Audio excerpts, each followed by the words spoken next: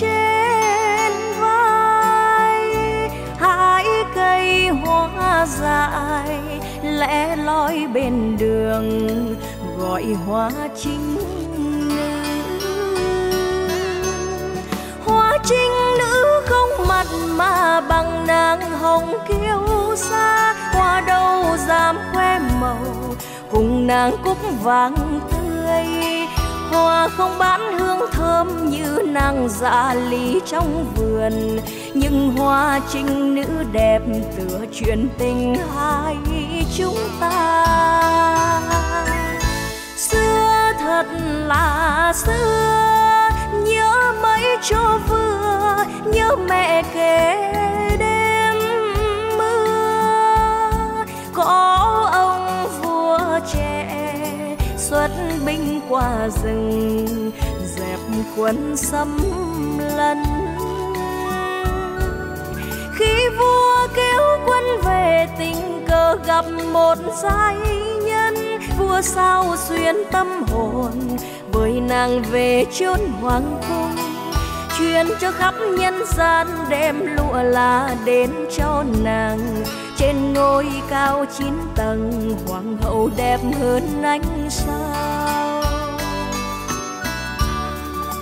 Truyền cho khắp nhân gian, đem lụa là đến cho nàng. Trên ngôi cao chín tầng, hoàng hậu đẹp.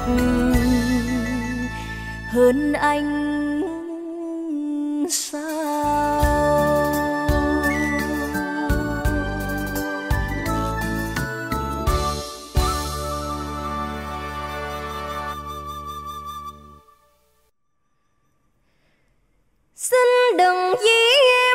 em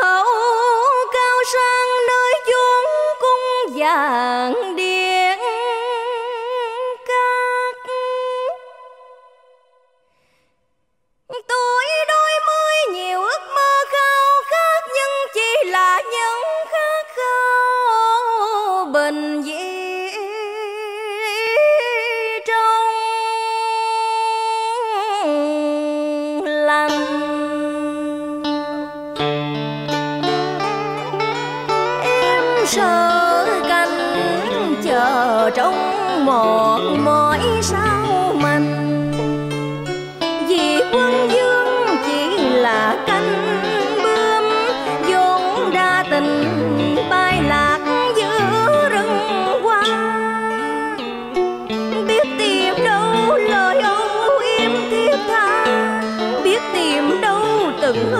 thơ ngọt ngào. Dòng tay nào xua giá lạnh đầu đông, khi vua mãi đắm chìm trong rừng ân bể.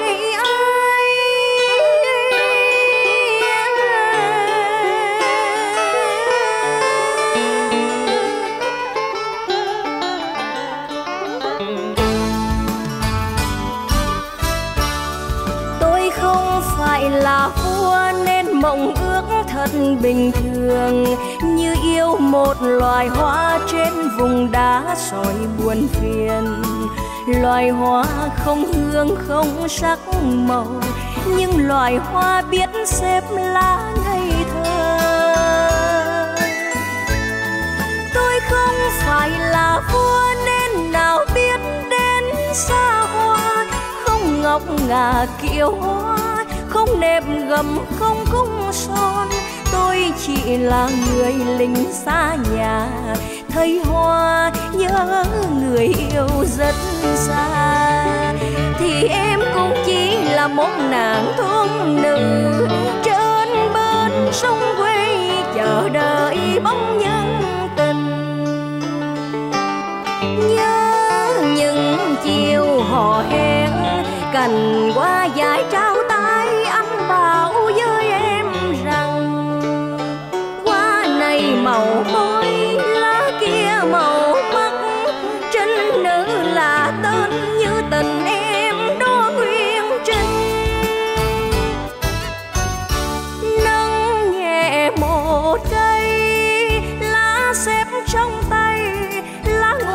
thật mê say. Ngỡ đôi mi gầy, khép đêm trăng đầy, cài thén cung ai. Tôi nghe thoáng qua hồn mình vừa thành một quân vương. Quân vương giữa hoa rừng, lòng bàng hoàng nhớ người thương và mong ước mai sau khi tan giặc rước vua về. Cho giai nhân ngóng đợi chỉ một cành chính nữ thôi. Dân một cành trinh nữ thôi, nhưng với em là tất cả. Vì trong tim anh em cũng chính là hoa. Em sẽ mãi mãi là loài hoa trinh nữ. Đời anh về chiếc chọn chữ tình chung.